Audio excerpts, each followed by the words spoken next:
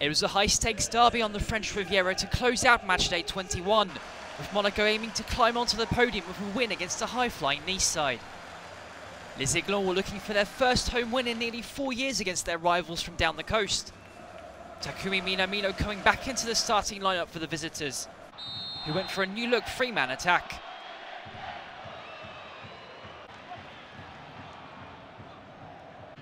But it was the Principality side who struck first. Camara playing it to Denis Zakaria, the midfielder lining up his shot and rifling it into the top corner.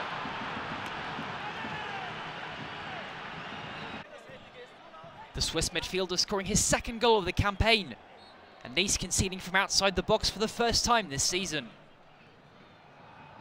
Nice were pushing for the equaliser as Guessand brought it down for Sanson, who hit it first time but Köhn was able to get across in time.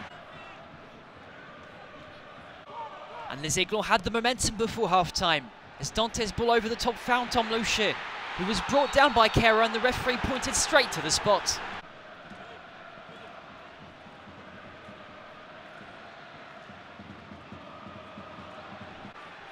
Gaëtan Laborde stepping up and sending the goalkeeper the wrong way.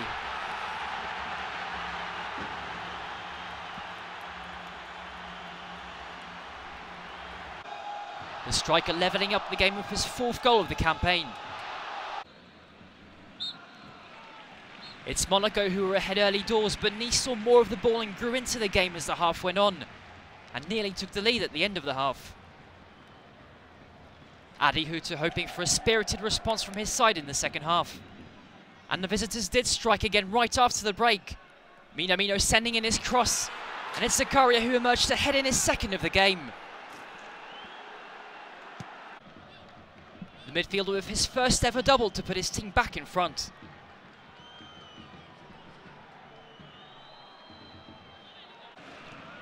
And it went from bad to worse for Nice minutes later. The captain Dante with a rash challenge on Minamino. The decision going to VAR check.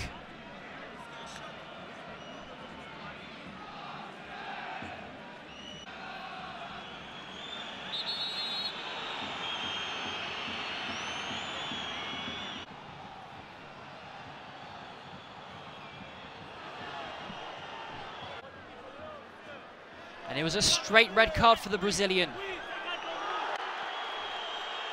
Nice down to 10 for the remainder of the game. But Nice were able to head back.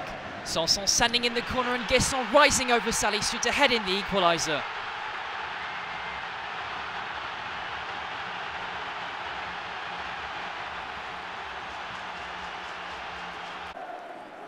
Aiglons down to 10 men but were able to fight back to draw level.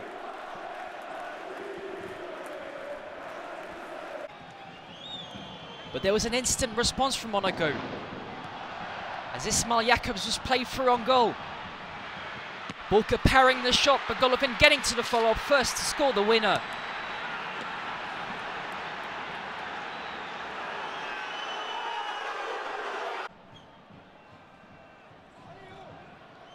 The Russian grabbing his sixth goal of the season and sealing the three points as Monaco clinch their first win since the turn of the year.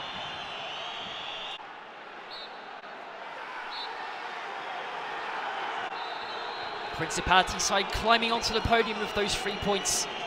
Nice fought back with 10 men but fell short after a dramatic derby on the Riviera.